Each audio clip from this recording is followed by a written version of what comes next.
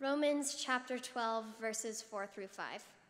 For just as each of us has one body with many members, and these members do not all have the same function, so in Christ we, though many, form one body, and each member belongs to all the others. Good morning. I'm Annie Norris, and thank you so much for attending this year's Youth Sunday. Words cannot begin to describe how honored I am to be here giving this sermon today. As Christians, it can be baffling trying to imagine how God wants us to spread His word through gifts, thus leaving many of us to wonder well, what is my spiritual gift? It is so easy to distinguish recognized gifts such as preaching, healing, music, and singing, but what about the unrecognized gifts? I was fortunate to become involved in the five o'clock service by sharing God's word through song, but I'm, and I'm blessed to have found a spiritual gift at such a young age. I was able to find this gift through my mom, and my mom's gift is also by sharing music through the piano to praise God. My dad jokingly told me he didn't know what his spiritual gift was until he went to his first session meetings. He couldn't prophesy. He doesn't speak in tongues unless he's angry. He doesn't play an instrument, and I've heard him sing.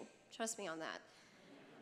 However, he can read a balance sheet and an income statement. He told me that it's what the church needed at the time, and so he served on the finance committee. We have many members who add to our worship of God in ways you might not ordinarily think of as a spiritual gift. Anyone who has the patience to make our communion wafers knows this, as do the members of the Altar Guild who make sure our sanctuary reflects the majesty of our Lord along with the woman who helped watch children who are too young to sit through the sermons, and all of the tutors from STAIR. The list goes on and on, and we are blessed it does. Our church is one body, and we are all the members. Without us, the body would not be able to function, no matter what part you play. If everyone had the same spiritual gifts, our church would not be the church we are today. That is why it is important not to conform to the highly recognized gifts. While discussing the sermon with Dan and Catherine, they suggested I add a story from the Bible that talked about spiritual gifts. So I did some reading and I came across Mark chapter 12, verses 41 through 45. This is the famous story about the old woman who was only able to give two copper coins, but Jesus says she gave more than any other.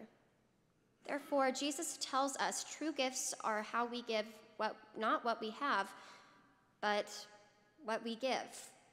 Jesus doesn't ask our gifts to be one specific thing, but instead asks us to give what we have, with our hearts and with our love for God. Last weekend, we had a beautiful Easter service. But what if in that service we didn't have the flower arrangements, the acolytes, the ushers, bulletins, hymnals, or the hundreds of people that attended church that Sunday? It wouldn't be the same, right? See, no matter how you choose to contribute to the church, you are helping us grow and create the amazing services we have all throughout the day, every Sunday. When we combine all of our gifts, we make the true body of Independent Presbyterian Church. Even if you feel your part is small or not dignified, remember, your role often plays a huge part to someone else's church experience, larger than you might think. Amen.